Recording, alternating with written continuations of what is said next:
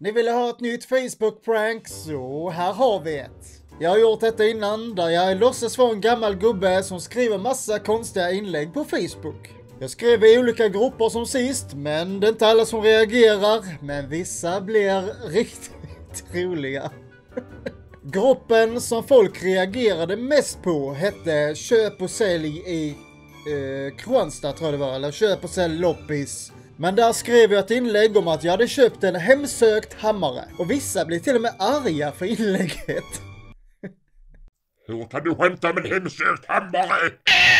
Sen efter det så gick hon in i varje inlägg jag hade gjort i olika grupper och gjorde sån arg emoji på den. Om man blir arg för något sånt, då blir man ju arg för vad som helst.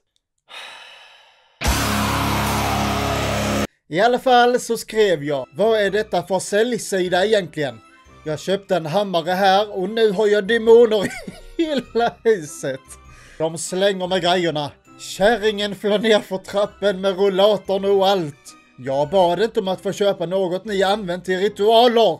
Hur oseriösa är ni här inne? De första som kommenterade de skrattade bara och tyckte det var roligt att jag gjorde deras dag och så vidare.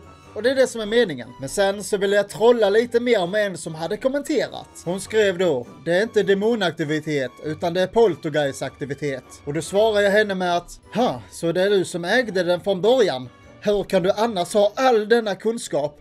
Precis som man aldrig har sett något paranormalt program eller kan googla. Och då svarar hon med, va? Jag fattar inte vad du menar nu.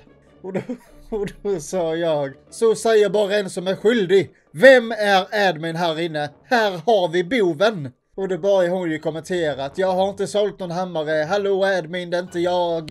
För jag slutar ju svara henne. Men sen blir det lite tyst i gruppen, så jag tänkte, hur ska jag få liv i den lite till? Så jag skrev det här. Satte musfällor runt om i huset så de skulle fastna, men då fastnar kärringens hängpattar i en såklart. Vad har ni för tips för att bli av med detta? Precis som en musfälla skulle göra någon skillnad.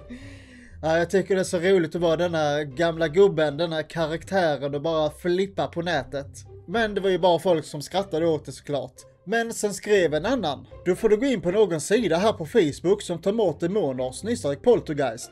Eller alternativ är att sluta röka på och få hallucinationer. Och då tänkte jag, men då får jag svara med något korkat svar. Så jag sa, hur kan en sida ta bort det? Är det något virus från datan som läckt ut i hela byggnaden eller? Precis som att det inte finns människor inne på den hemsidan. Och sen kommer hon, surtanten själv. Och hon skrev kan admin bara slänga ut idioten? Så jag tänkte jag är lika trevlig tillbaka och jag skrev Ja, ut med dig bara! Och sen, sen flög hon rundor och gjorde sådana arga emojis på alla mina inlägg. och sen blockerade hon mitt konto.